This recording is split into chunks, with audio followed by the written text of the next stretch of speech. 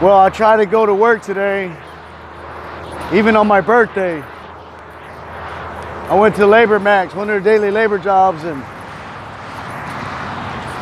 I swear, these people in this town, I'm starting to think they're prejudiced. Seriously. Yeah, man. I don't think this is fair. I don't think this is right. But uh, I'm not gonna give up fighting a good fight. I'm not gonna let it get to me. It's my birthday, amen. Son, daddy loves you, boy. Even though the enemies, you know, against us in this courtroom and literally lying on stand and doing what they're doing. I'm, I've been showing everything on YouTube. I've been showing my truth on YouTube on a daily basis, on a daily routine. And it's like, when is my voice gonna be heard, you know?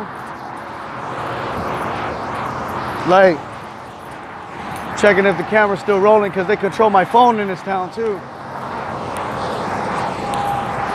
You know, when I was a child, I thought like a child, I spoke like a child, I understood as a child, I even reasoned as a child.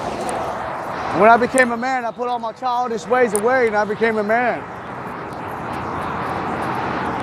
I walk literally like 10 miles a day here in this town because buses will pass me up. I never in my life had to buy a backpack. I even have a apartment. And the apartment that I have is all set up to kill me. Literally. Literally.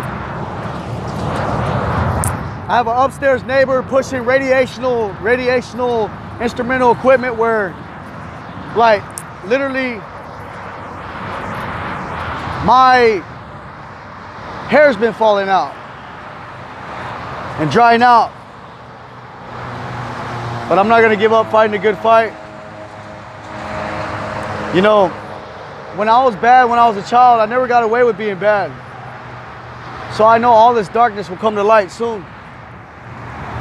I give it to God. Amen. And I always will. Father God, we leave all this evil that we know that you can control and you can contain and that you can prevail, Father God. That light shines through all darkness, Lord Father God. Donald Trump, I need your help, buddy. Mr. President, please come to San Antonio. I already had an Easter in January. I already know where I'm going when I die.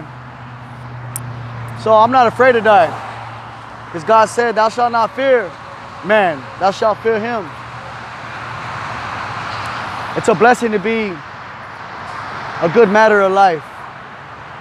And knowing truth is knowing God. And that's having salvation. And the definition of that is pretty much faith. All the black witchcraft stuff that they do in this town, if they would at least put their prayers, effort into praying like that, I think they will be blessed like me. I literally came back from the dead. Thank you, Jesus Christ is the King of healing. Amen.